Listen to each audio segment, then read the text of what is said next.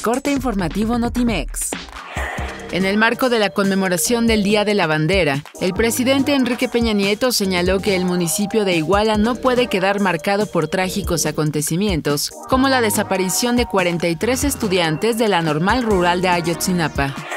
El presidente boliviano Evo Morales afirmó que respetará los resultados del referéndum constitucional, que le impedirán postularse para buscar un nuevo mandato en 2019. Sin embargo, señaló que seguirá en la lucha.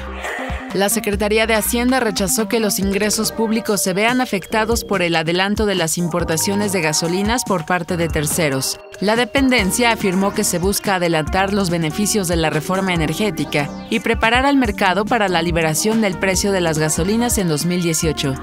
La Secretaría de Salud dio a conocer que las unidades del sector salud tienen abasto suficiente del medicamento Oseltamivir para atender la actual temporada de influenza. El actor Carlos Cámara, afamado por sus papeles de villano en telenovelas mexicanas, murió a los 82 años víctima de un infarto fulminante.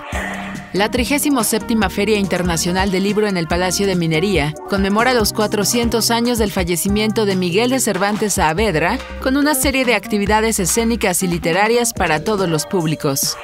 El Comité de Apelación de la Federación Internacional de Fútbol Asociación confirmó la decisión adoptada por el Comité de Ética con respecto al castigo impuesto al francés Michel Platini y al ex dirigente Joseph Blatter, el cual se verá reducido de 8 a 6 años.